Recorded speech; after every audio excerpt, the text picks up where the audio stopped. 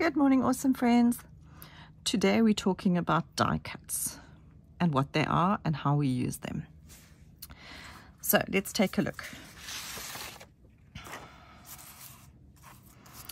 There are two types of die cuts.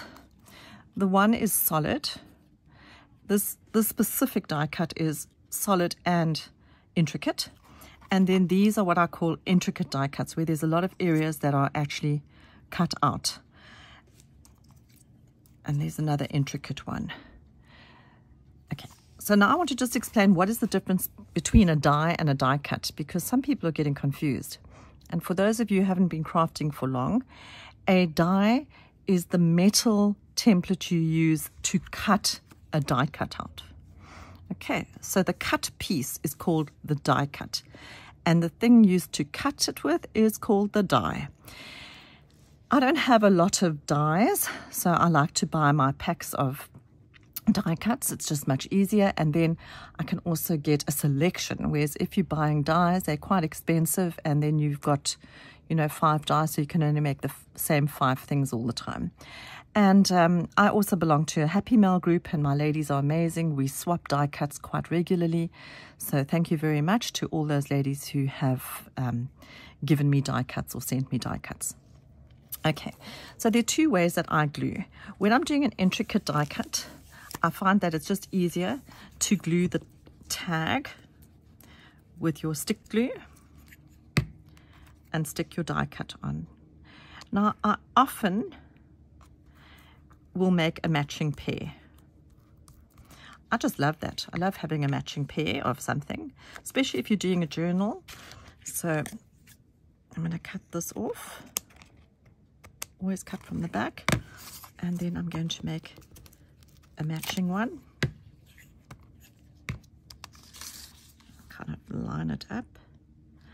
Obviously you can line it up before you cut it but I just find it easier to do it like this. Okay. So there's a matching pair. If necessary you can just push it down with your lappy and you can see I'm always dirty and nothing looks perfect.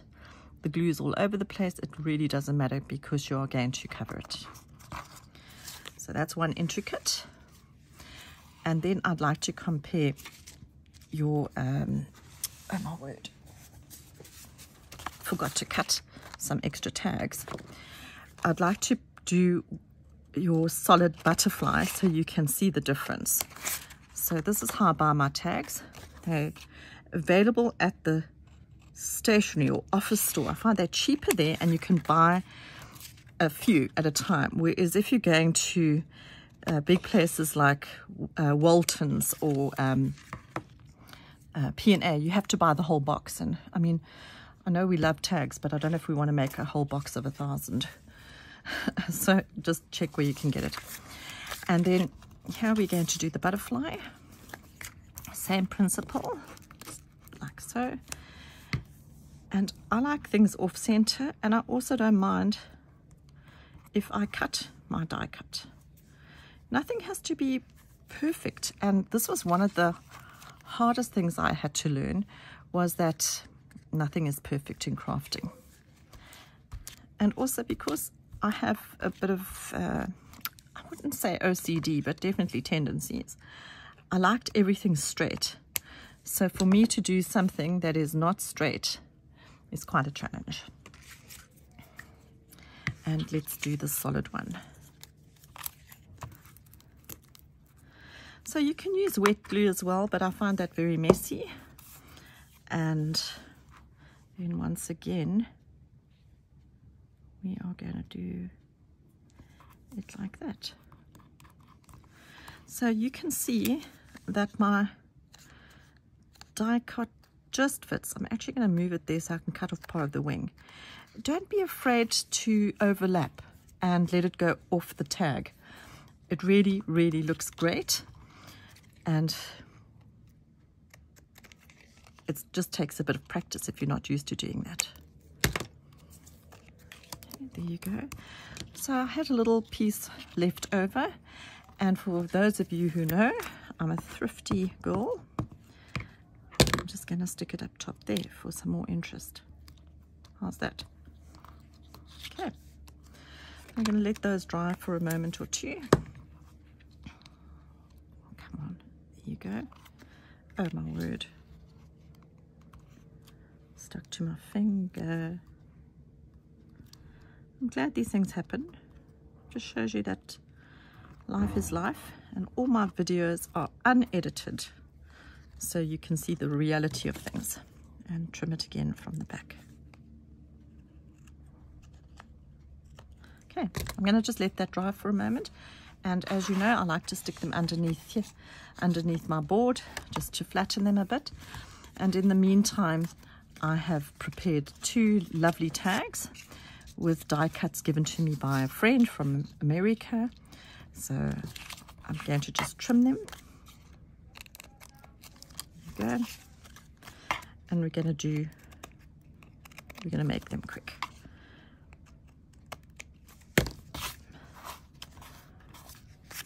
Okay which one should I do? That is the question for you. I think I think for the video I'm going to do this one. So I've already crumpled my tape and that one is Oh, I'm really stretching this tape. Just fits. I'll cut this.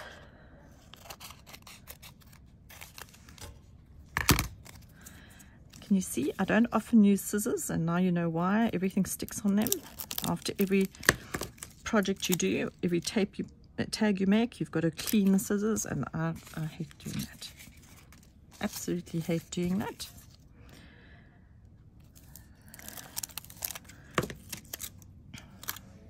So look what happened, girls.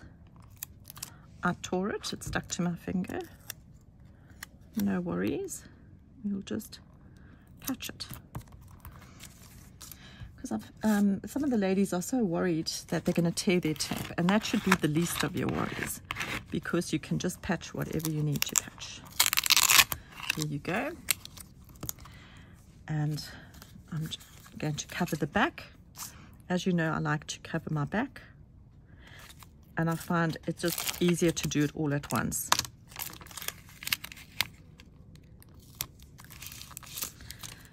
Back and front.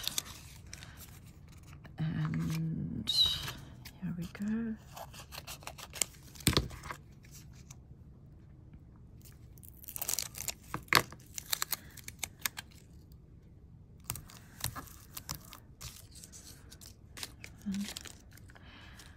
You know that story, how you can actually lose something on your table? Well, I am forever losing my scissors. And then I'll put something down and I will not move from the table and I will search everywhere. I don't know if any of you found that sometimes you go down to the bathroom or something and you've got a piece of your your craft stuck to your clothes. I mean, the number of times I go somewhere and I've got metal tape stuck to my top um, or under my shoe. Or I even found a die cut that went missing the other day. It was stuck under my shoe. I mean, I don't know how that happens. Do you think it's the crafting elves? Okay, so there we go. And we just flatten it with our card. Okay, done. Now, the paper stamp.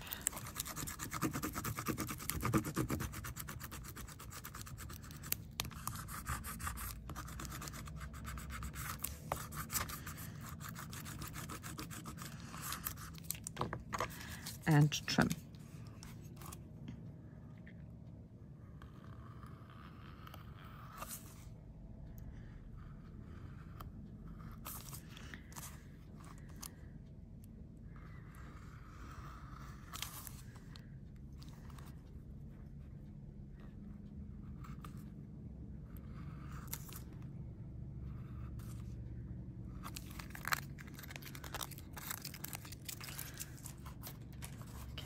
done. I want to just get the tag that I put over here and I'm going to cover it as well. A little bit more tape crumpled up. And girls, you don't have to crumple your tape. but I'd say 90% of all my projects I crumple the tape because I really like the creased look and it makes it so much easier to handle.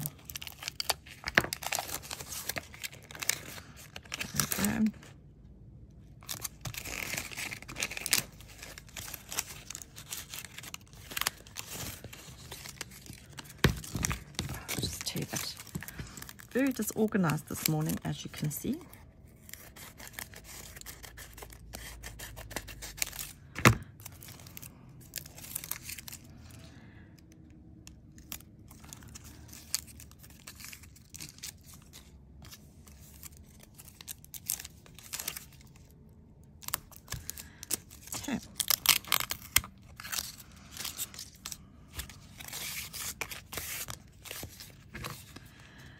This piece.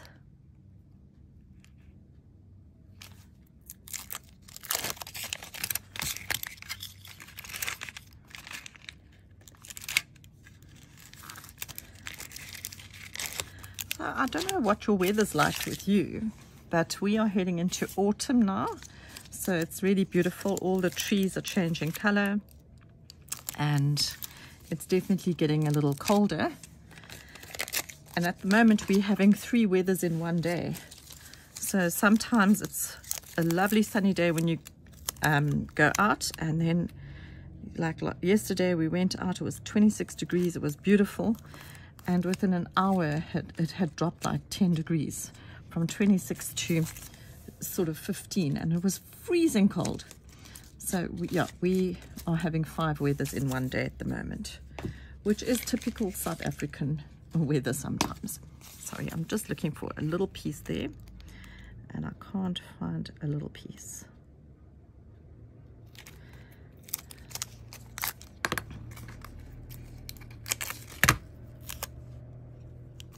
Okay, done.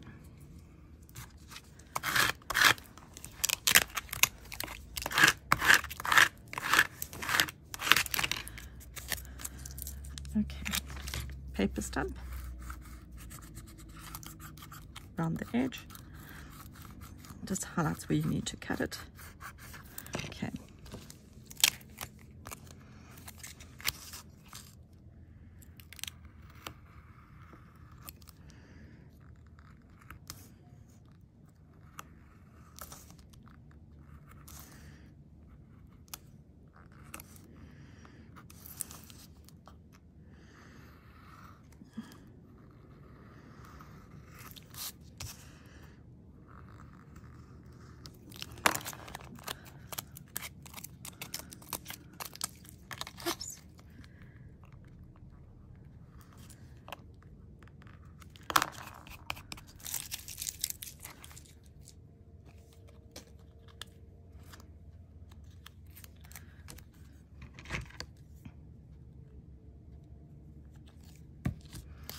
Okay, we have our two tags and we are going to use the paper stamp on both to flatten around our patterns.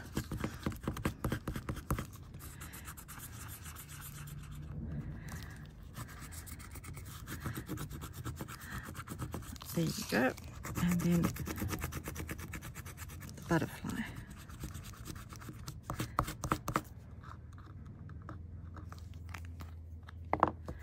didn't trim And here. Okay. I don't know why I haven't trimmed that properly. Okay, so we rub around everything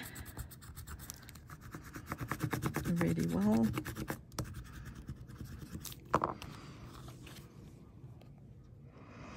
Nice and flat. So if you don't use the paper stump around the edges, when you start using your tool, you will tear your tape. It's not a transmash if you do tear your tape, but yes.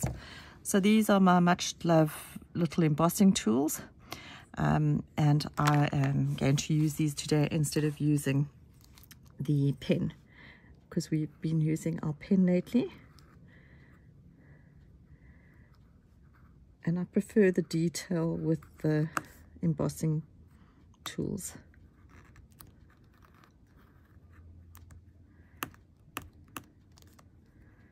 So all we're doing is we are outlining our pattern or our die cut. We are outlining everything.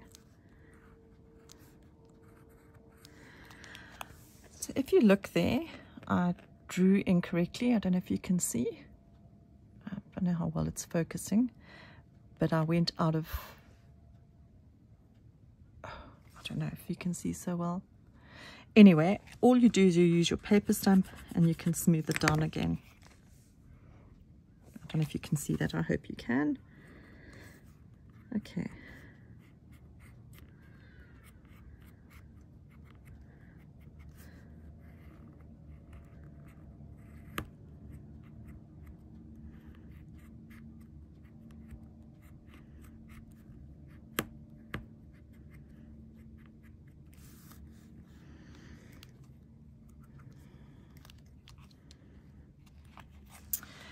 Okay, so as you can see, this is the solid butterfly, not intricate. It has the pattern sort of drawn on the on the wings, but the butterfly itself is quite plain.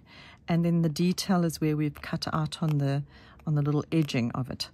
So I mentioned earlier, we always try and put detail on our tag so that the ink can stick. And here we're going to draw detail on the wings.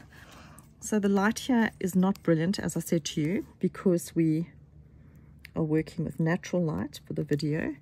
So I am just going to freehand draw some patterns on the wings.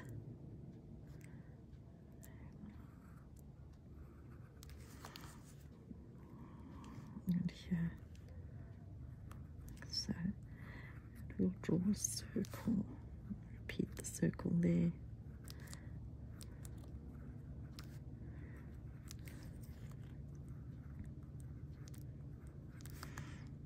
And here.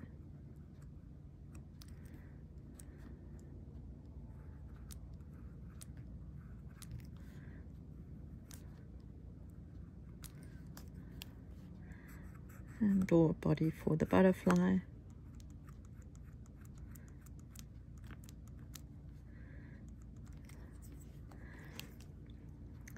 just draw some more lines just so we've got some patterns here.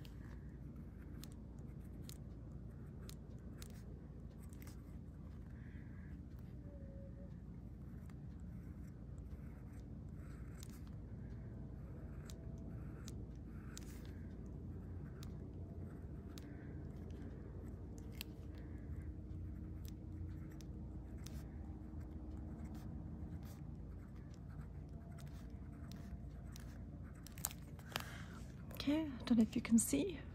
Done a little bit more detail on the butterfly. It's really important to do a little bit of detail. Um, I'm also going to technique the little hole enforcer reforcer enforcer I don't know what you want to call it reinforcer. And I'm going to color in a little bit on the pattern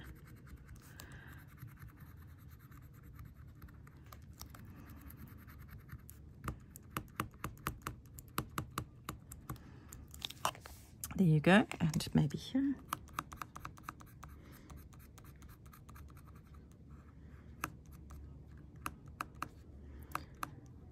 Okay. And as you girls know, I always like to have a little edge. So too lazy to find a ruler. Hence I'm using my little card and I'm drawing an edge, a border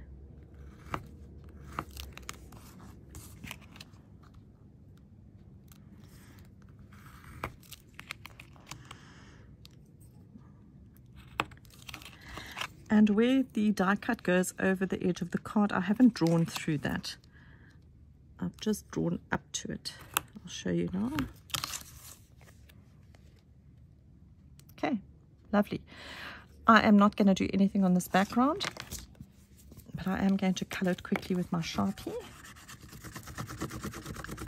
Okay.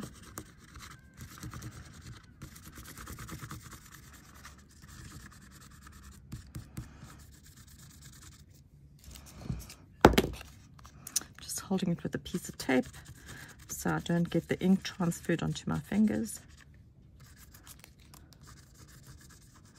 Okay.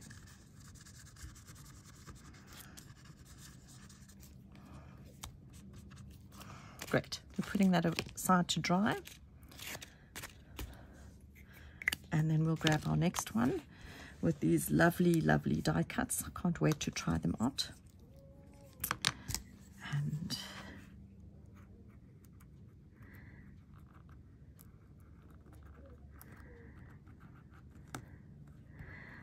I was going to do one of the intricate die cuts in this video, but it will take too long. So always remember, the more areas you've got a technique, the longer the tag will take. So for the sake of the video, trying to keep the video short and sweet, I won't be doing that one. But I will share with you a photograph in our Tape-a-Tag Facebook group. So you can take a look at it there. Oh, this is so gorgeous. I absolutely love this little flower. Um, you know, South Africa is a very colorful place and, and we have a lot of issues. But I just have to tell you that I'm sitting here and I'm working and my garden service are busy with my lawn and that and I can hear them singing away. And that's the thing about South Africa that people don't understand.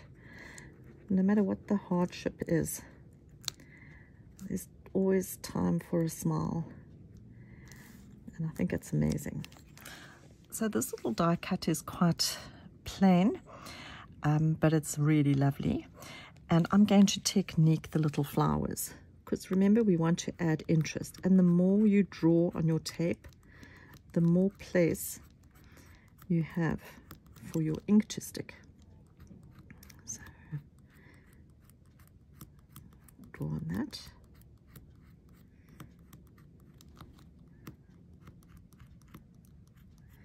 You can technique it any way you like.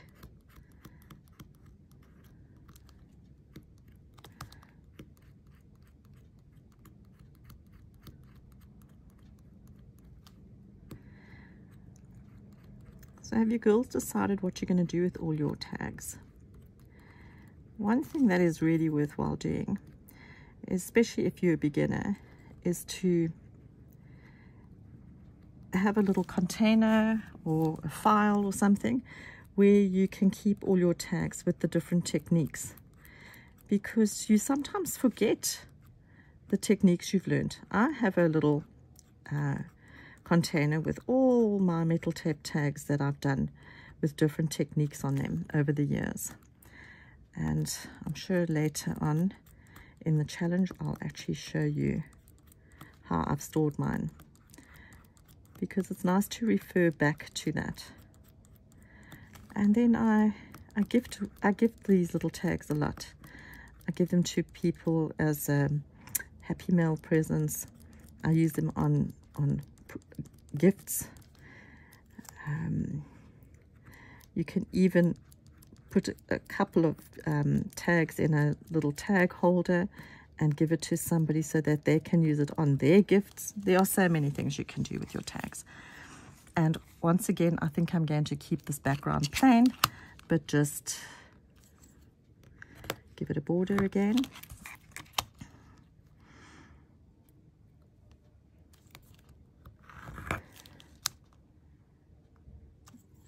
I don't want to keep you girls too long.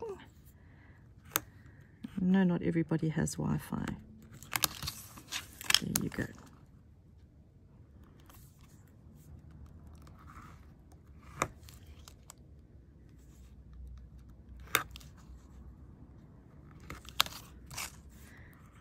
Okay.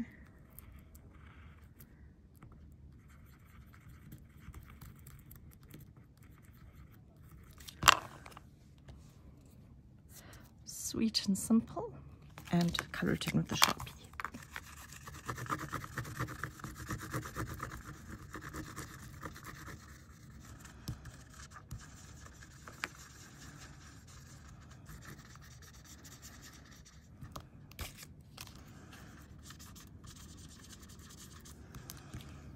Done. So now we can wipe the Sharpie off here. And this has been standing a while. It's completely dry and it wipes off fine.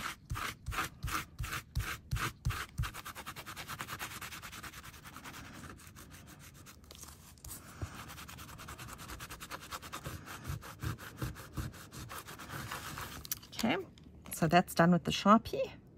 Oh, sorry, with the Sharpie. That's cleaned with the lappy or the cloth. And then this one, also dry to the touch. We're actually going to use our nail buff.